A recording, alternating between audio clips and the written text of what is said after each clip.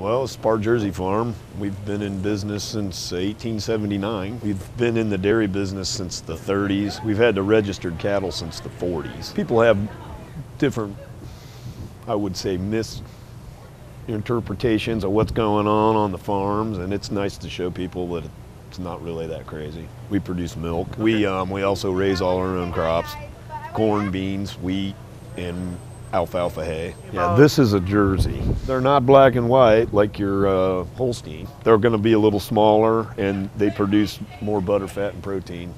They'll milk a little. They'll give a little less milk. We got to take the milk from these cows and sell it and make money. Jersey milk, for the most part, is made into something: butter, ice cream, cheese, sour cream, all your manufactured stuff. And the milk you drink is 3.2, which this milk will be 5% not a not a lot of people exposed to stuff like this. It's kind of weird, but I can see Findlay from where we're standing, and but I've I don't know how many people like we didn't even know this was here. I'm just super tickled that people came out to see us, and like I said, I think everybody seems to be having fun. As far as being a farmer, I don't know. That's some people would say it's a family curse, but not really.